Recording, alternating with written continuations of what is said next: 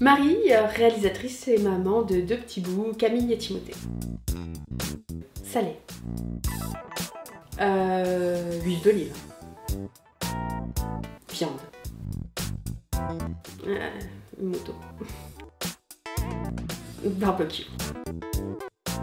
œuf brouillé. Pain au chocolat. Caviar.